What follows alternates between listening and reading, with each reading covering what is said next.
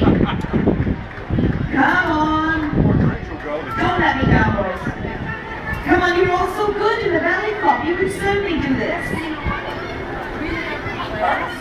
this.